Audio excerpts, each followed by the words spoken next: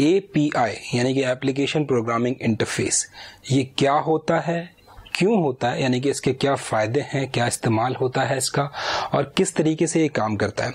दोस्तों, अगर ये आपको जानना है तो इस वीडियो को आगे देखते रहिए। मेरा नाम है हुसैन, आप देख रहे हैं जवाबी बाबा चैनल। आइए शुरू करते हैं।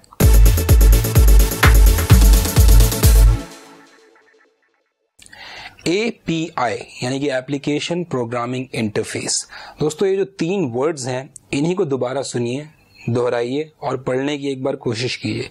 एप्लीकेशन प्रोग्रामिंग इंटरफेस यानी कि एक एप्लीकेशन है, उस पर प्रोग्रामिंग करने के लिए इंटरफेस है, जिससे कि दूसरी एप्लीकेशन उसके साथ बात कर पाए। अगर मैं आसान भाषा में इसको कहूँ, वैसे तो आप स्क्रीन पर इसकी किताबी डेफिनेशन भी देख सकते हैं, अभी दिख रही होगी, लेकिन इसको पढ़ने से कुछ ज़्यादा समझ में नहीं आता है। अक्सर हम ये सुनते होंगे कि एपीआई एक्सपोज करना पड़ेगा, इसे एपीआई को एक्सपोज करेंगे।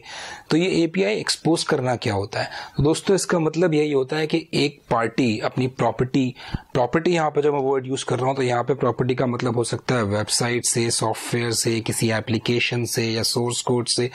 तो एक पार्टी अपनी प्रॉपर्टी का एक कंपोनेंट का एपीआई एक्सपोज करती है, जिससे कि जो दूसरी पार्टी होती है, अपने सॉफ्टवेयर एप्लीकेशन को उससे कनेक्ट करके उस पर अपनी प्रोग्रामिंग कर सकती है। अब इसका क्या पर्पस होता है? ये किया जाता है किसी एक पर्टिकुलर पर्पस को अचीव करने के लिए। मिसाल के तौर पे, आप सभी अमेजोन ईबे वगैरह शॉपिंग वेबसाइट्स यूज़ करते हैं। तो इन शॉपिंग वेबसाइट्स पे, ये शॉपिंग वेबसाइट्स क्या है? ये मार्केट प्लेसेस हैं। तो अमेजोन अपना कोई प्रोडक्ट तो बनाता नहीं है। दुनिया भर के रीसेलर्स अमेजोन की वेबसाइट पे अपने प्रोडक्ट्स का कैटलॉग दिखा के बेचते हैं। तो अमेजोन उन सभी प्रोडक्ट्स का डेटा तो खुद तो मेंटेन करता नहीं है। तो उसने क्या कर रखा है? अपनी वेबसाइट के उस मर्चेंडाइजिंग पेज पे अपने एपीआई को एक्सपोज कर रखा है। अब इससे क्या होता है? इन रीसेलर्स के पास एक एप्लीकेशन है जिससे कि वहाँ पर इनको एक इंटरफेस दे रखा है कि यहाँ पर आप अपने प्रोडक्ट का पूरा कैटलॉग उसकी इमेजेस उसका पूरा डिस्क्रिप्शन प्रोडक्ट डिटेल्स सब कुछ आप अपलोड करके उसको मेंटेन कर सकते हैं। तो ये अमेजोन अपने एंड पे नहीं करता है, वो ऑडिट वगैरह करता होगा, लेकिन इसको अपलोड कौन करता है, इसको मेंटेन कौन करता है, इसकी पूरी तरीके से देख कौन करता है, वो रीसेलर जिनका कि वो प्रोडक्ट है। तो एक रीसेलर अपने प्रोडक्ट को पूरे तरीके से मेंटेन रख रहा है अमेजोन की वेबसाइट पे। तो ये ये एक एक एग्ज़ाम्पल है कि किस तरीके से एपीआई काम करता है और क्यों इसकी ज़रूरत पड़ती है। एक और मैं बहुत अच्छा एग्ज़ाम्पल आपको देता हूँ एपीआई का। आपने देखा होगा बहुत सारी आप फोन्स पे जो एप्लीकेशंस यूज़ करते हैं या फिर जो वेबसाइट्स यूज़ करते हैं अपने कंप्यूटर पे, वो कई बार आपको लॉगिन करने के लिए कहती हैं। जैसे कि एक फ्री चार्ज बहुत मशहूर वेबसाइट है, उसको आप फ़ोन वगैरह के रिचार्ज करते हैं डी वगैरह के रिचार्ज करते हैं। आपको उस वेबसाइट की सर्विसेज़ यूज़ करने के लिए उस पर साइन इन करना पड़ता है। साइन इन के पेज पे और बहुत सारी वेबसाइट्स या एप्लीकेशंस के साइन इन के पेज पे आपने देखा होगा साइन इन विद फेसबुक या फिर साइन इन विद गूगल आप जैसे ही वन बटन क्लिक करते हैं और आपका साइन इन फेसबुक या गूगल के साथ उस पर्टिकुलर एप्लीकेशन या वेबसाइट पे हो जाता है। तो ये कैसे होता है? आपका गूगल का या फेसबुक का पासवर्ड, उसके क्रेडेंशियल्स उस वेबसाइट पे यूज़ हो गया और आपका वन क्लिक साइन हो गया। तो ये भी एपीआई के ज़रिए ही हो रहा है। ये कैसे हुआ है?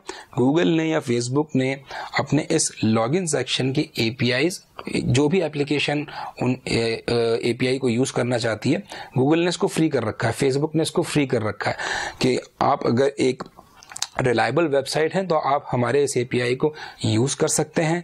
और इस तरीके से देखिए कितना आसान हो गया क्योंकि अगर इतनी सारी वेबसाइट्स हैं इतनी सारी एप्लीकेशन हैं अगर हम अगर हम सब पे अपने अलग अलग पासवर्ड बनाने बैठे हैं तो इतना तो यूज़ भी नहीं हो पाएगा। वेबसाइट्स उन, उनकी सर्विसेज़ कोई भी इतना यूज़ नहीं कर पाएगा।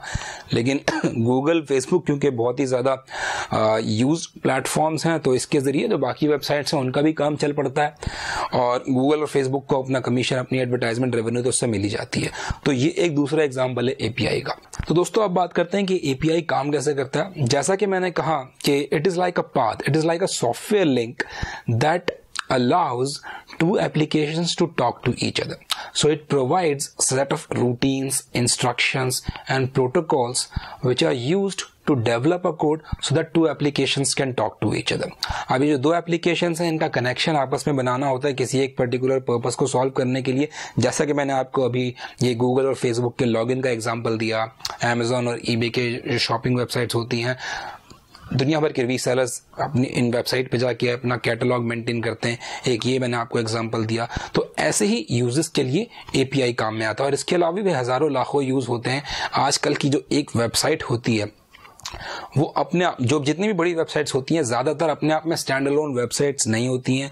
वो कई दूसरी वेबसाइट्स सर्विसेज़ वेब सर्विसेज़ को यूज़ करते हैं स्पेशलाइज सर्विसेज़ को यूज़ करते हैं, जहाँ पर ज़रूरत पड़ती है एपीआई की। अब अगर इसका एक और आसान सा एग्ज़ाम्पल मैं आपको दूँ। जब आप किसी होटल में रेस्टोरेंट में खाना खाने जाते हैं, अगर टेबल पर बैठते हैं वेटर आता है, उसको ऑर्डर करते हैं, और फिर वो आपका ऑर्डर लेके आता है। जब आप टेबल पर बैठे हैं तो आपका ये खाना आ कहाँ से रहा है? उस रेस्टोरेंट के किचन से आ रहा है। तो जो कनेक्शन बन रहा है, आपकी टेबल का किचन से बन रहा है। आपने खाने का ऑर्डर दिया, वो किचन से आया किचन से आपकी टेबल पर आया, आपने खाया। इस ऑर्डर को एग्जीक्यूट किसने दिया? कि किसने किया? आपका ये कम्युनिकेशन किचन तक और फिर किचन की ये सर्विस आप तक किसने पहुंचाई? उस होटल के वेटर ने।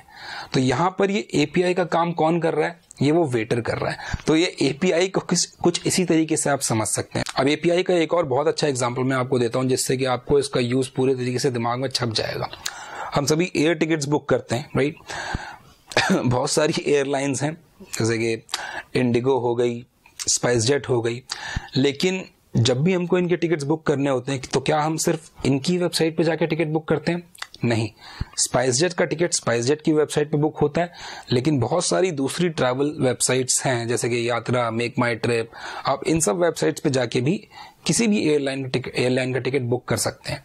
तो ऐसा कैसे हो सकता है? अब स्पाइस जेट के पास उसकी इन्वेंट्री में कितने टिकट्स हैं, ये इन्फॉर्मेशन तो सिर्फ़ स्पाइस जेट को पता होनी चाहिए। नहीं, वो अपनी इन्फॉर्मेशन शेयर करते हैं एपीआई के ज़रिए दूसरी ट्रैवल वेबसाइट्स के पास भी, जिससे कि रियल टाइम उनको पता लगता रहता है कि स्पाइस जेट की इन्वेंट्री में रियल टाइम कितनी इन्वेंट्री है। तभी आप दुनिया भर की किसी भी वेबसाइट पर जाके, किसी भी ट्रैवल वेबसाइट पर जाके उसी एयरलाइन का टिकट बुक कर सकते हैं। तो ये होता है एपीआई का मोटा मोटा यूज़ उम्मीद करता हूँ कि आपको अब थोड़ा बहुत दिमाग में पिक्चर क्लियर हुई होगी कि एपीआई क्या होता है, क्यों होता है, क्या इसका इस्तेमाल होता है और मोटा मोटा कैसे काम करता है। अगर आपको ये वीडियो पसंद आया तो फिर इस वीडियो को लाइक भी कर दिए सब्सक्राइब भी कर दीजिए, क्योंकि मैं इस तरीके के क्या, क्यों, कैसे वाले वीडियोस बनाता रहता हूँ। बहुत जल्दी मुलाकात होगी आपसे अगले वीडियो में, तब तक के लिए अपना ख्याल रखिए, खुश रहिए, शुक्रिया।